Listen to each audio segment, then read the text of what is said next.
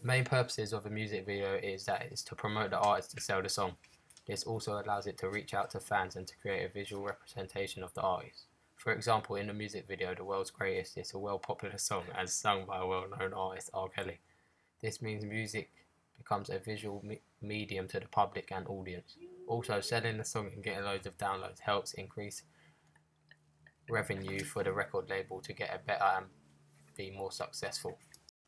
Other purposes of music videos are if the people like the music video and the artist, they start to listen to the song more and give it more hits, which makes the rec record label and the artist more money.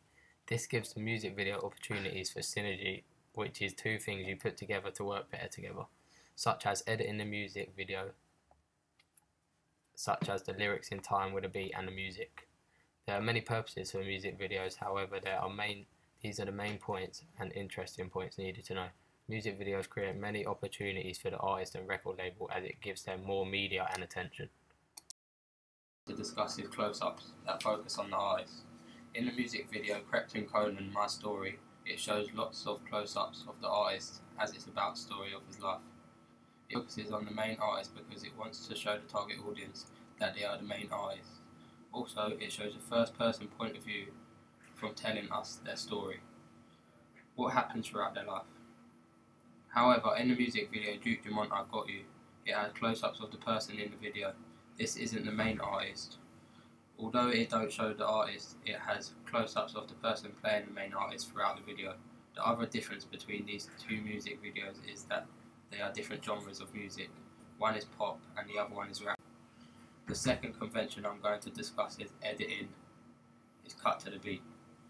In the first music video, Krept and Konan My Story, this is being used really well as each action in the video is cut to the beat of the song perfectly. This shows to the target audience that it's a well organised song and has put has been put together really well. However, in the second music video, Duke Dumont I Got You, it shows what the song is about and what its meaning, so in the sense of it is mostly cut to the beat of the music.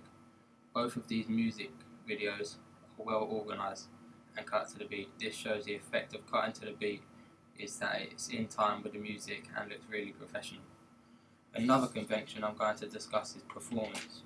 In Krept and Konan music video there is a lot of singing and acting, but there is no instruments or dancing included. However, in the music video it is based on a true story. The actions in the music video are in time with the song and the singing was in time with the actions. Although in Duke Dumont I've Got You there is dancing included. This shows that the music video is that they're having a good time and enjoying themselves. Another convention for these two videos is montage editing and cross-cutting between different locations. In Duke Dumont music video there is a lot of cross-cutting between different locations as one minute he is sitting in a chair and the next he is in paradise. Also whilst he is in paradise he is often changing to different parts of the house and beach. However in Krept and Konan music video there there is a lot of cross-cutting between different locations in the street and the house, so they get a better view of the music video and the artist singing and rapping.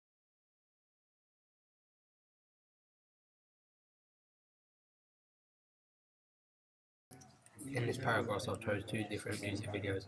One is Sam Smith, I'm Not the Only One, and the other is Bastille Pompeii. The convention I'm going to discuss with these two music videos is a narrative. In the video, Sam Smith I'm not the only one. The narrative is that the man in the video is cheating on his wife, and this shows that he isn't trustworthy. In Bastille Pompeii, there is also narratives, as he is the only one with, until the end of the music video with black eyes. So there is connected news from the video and different people.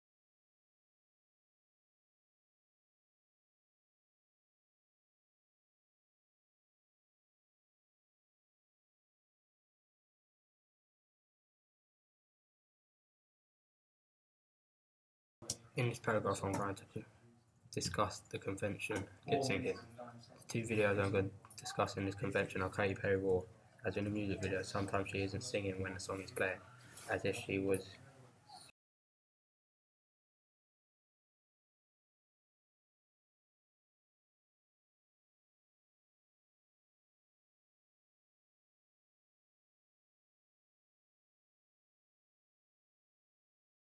In this convention I'm going to discuss Katy Perry Roar. The convention I'm going to discuss is the appearance of the artist. As you see in Katy Perry's music video, she appears throughout the video in different types of shots and angles. In the video, she isn't playing any instruments, which suggests she is